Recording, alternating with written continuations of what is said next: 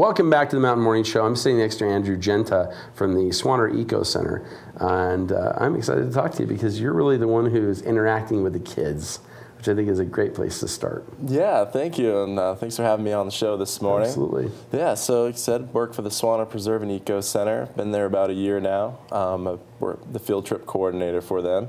So I'm in charge of setting up all the field trips with the local teachers, students, and really taking them out on our preserve getting them hands-on into science, into nature, and um, just kind of showing them what we have in their own backyard, teaching them a whole variety of different programs. That's really cool. Yeah. So when you guys get out there, what do you what do you find? Oh, in the preserve. All sorts of things. Um, well, we run a winter and spring field trip program. So during the winter time, we take students out snowshoeing, and uh, we focus on teaching them about animal adaptations. And uh, big thing is animal tracking. So Yeah. snow is a great canvas to. Uh, to look for animals and, and uh, see their tracks and what they've left on the preserve. So during the wintertime, we teach them about how to identify what different animals we have out there, how to differentiate between the different tracks. And then the springtime is one of my favorite times for field trips um, because there are a lot, lot of changes going on, and we have um, some really cool frog ponds Yeah, on our I bet. preserve.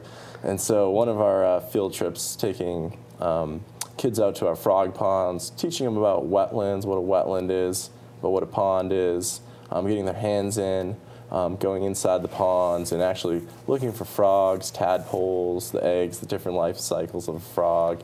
And then we um, also on the north side of our preserve, we have East Canyon Creek, which runs through there. And um, one of the fun things is to collect um, aquatic bugs and insects from the stream and Yeah. really get the kids' hands on to. It's really amazing to see how their eyes light up and. Kids you know, love the skeeters, don't Exactly. They love all different types of bugs. Anything that goes on top of the water, they're like, oh, I gotta love that. Exactly, and it's funny to see the progression from the beginning of a trip to, oh, that water's dirty. I'd never get in there. To you know, you got to pull them out by the end, you know, so they don't miss their bus or something. That's so, pretty so, fun. yeah, it's really great. That's really cool. So, wh- when it comes to field trips, how do the schools get with you and, and make those arrangements? Oh yeah, so um, you can go to our website, um, and um, you go on there, click on the education tab, and it'll uh, pull up the different programs we offer. So during the winter time, we offer uh, kindergarten through eighth grade field trips. So we have a program for kindergarten through second graders, program through third and fifth graders, and a different program for sixth through eighth graders. So we start up usually around mid-January because um, most of our winter field trips are focused on the snow. So Sure. of course, hopefully this year we'll get a little more than last. I think year. you'll have it. Don't worry. yeah. So um, We're gonna do some sacrifices to the snow gods this weekend. Yes, perfect. So we start mid-January, run through about mid-March, weather dependent, and um, we usually offer them Tuesday through Fridays. Um, so if teachers um, just contact me at the Swaner Preserve, um, my contacts uh, andrew.genta at usu.edu, and they can just arrange it uh, with me through me. So um, That's really cool. yeah.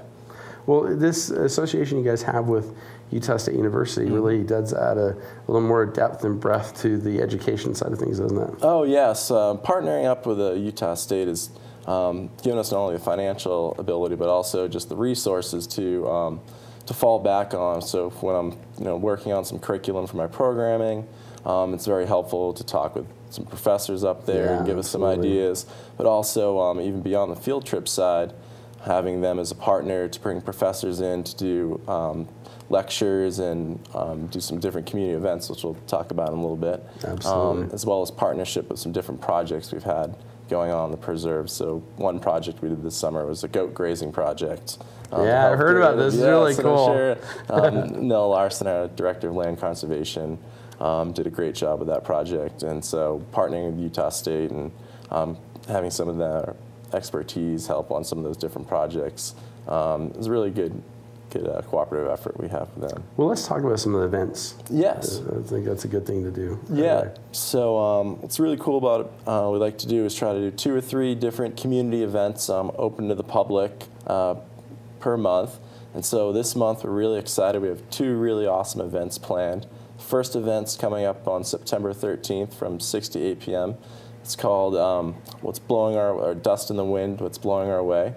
And so we have Richard Reynolds, who's a, uh lead scientist with the Utah, not Utah, the the United States Geological Survey. Oh, cool. Um, as well as a professor from the Department of Agriculture, or, uh, from the Department of Agriculture up at Utah State, um, who will be doing a panel discussion about land use changes in the West and how the dust has um, been on the rise. This is a big deal, this dust yes, activity, I'm sure it? this summer with all the fires you've seen, a lot of you know, air pollution and a lot of dust and stuff in the you know coming over here into Park City and throughout the Mountain West. So they're going to do a great talk about how that's affecting not only um, human health but also on ecological side how it's affecting plant communities as well as something very important to us um, the rate of snow melt um, and, and the acceleration of that. Um, Yeah, the there's little doubt about that. I mean, we've seen a huge loss of ice this year. Right, and um, and this just talks more about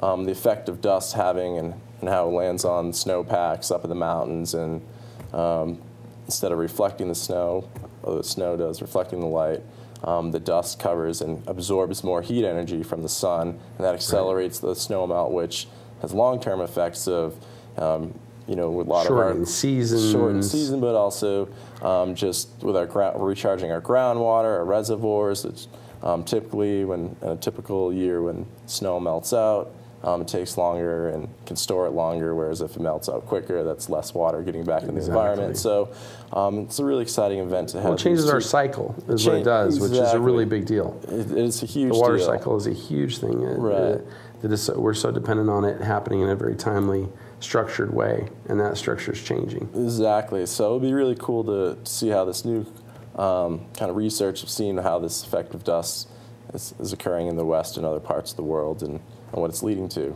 I think people So- have a hard time wrapping their head around the idea that something so small as a dust It- particle exactly. It's can amazing. make a big difference. Exactly. So it'd be really cool to, to have these scientists uh, in a panel discussion um, on September 13th, there Thursday night from 6 Yeah. to 8.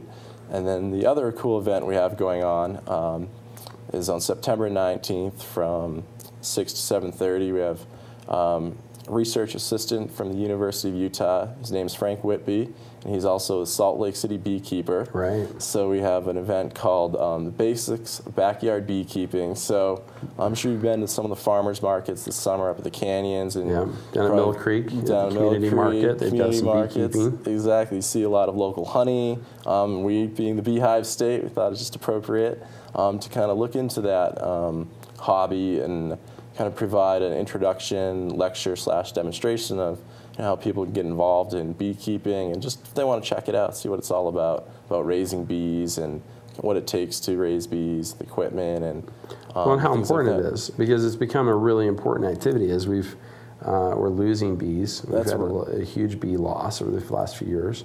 Uh, different types of radiation we think from phones and different things. We're not sure exactly what's done a lot of the damage, but there's damage. Right, and that's the um, that's another cool part about that uh, presentation about the bees that's coming up. So he'll also go into uh, the threats that local honeybees face, from um, loss of habitat to outside losses to um, different diseases that are occurring. And Yeah, you always got HIVO that can get to. Right, exactly. and, and some people, um, and I didn't realize for a long time how important bees are to Oh, just yeah. pollinating all our flowers and fruits and crops. And without bees, our whole agriculture system, you know, could be changed. So Yeah, can you imagine? I, I think people have a hard time wrapping their head around because there's only a few other, you know, a few birds um, and a few other, you know, there's some some wind uh, Right. pollination, but really, when it comes to the vast amount of it, the pollination happens with the bees, and if without right. it, uh, we'll starve pretty quickly. that's right. Yeah, it's going to be over as fast as we can. Yes. Yeah, Sure. So that's really something.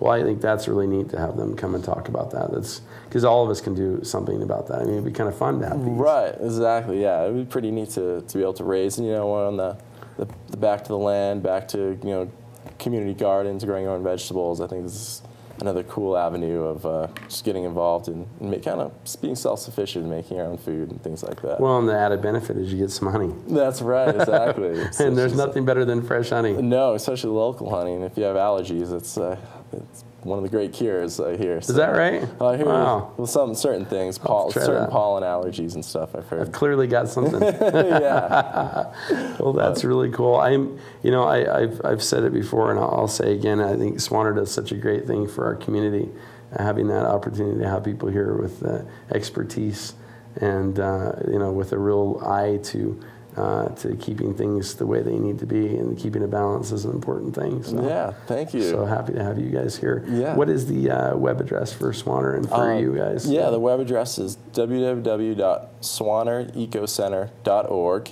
Okay. And if you're interested in attending any of our events, the Bee event or the Dust in the Wind event or future events, um, you can either um, check out our website, go to the community events page. Um, you can RSVP by emailing us at um, swanerecocenter at usu.edu. Okay. Um, so that's one way, or you can give us a call at 435 649 1767 and RSVP. It's great. Um, The big takeaway, though, is if you're a teacher and you're looking for something to really right. instruct your kids on and give them an opportunity to get a hands-on uh, education, then uh, giving you a That's call right. that Give me a call for sure because Awesome. uh, it's never too early to book a field trip. We're always looking forward to it. So, like I said, kindergarten through eighth grade teachers, science teachers, uh, and out there, all our programs uh, based on the Utah core curriculum science standards. So, That's great. Um, not only will the kids have fun, but it'll also be helping um, just kind of covering what's going on in the classroom as well, giving an outside, uh, hands-on environmental education experience. So, Excellent. yeah, so any teachers out there looking to do something this winter or spring with your classes, we have wetlands, um, we have uh, animal tracking, we have all sorts of different programs going on. So it'd be great to, to get some new classes out there and get as many kids from Park City, even Summit County as well, and Wasatch County um, involved. So Well, thank you. I Thank you appreciate it. much. Andrew Genta, Swaner Eco Center and Preserve. We appreciate you being on the show. We'll be back after these messages.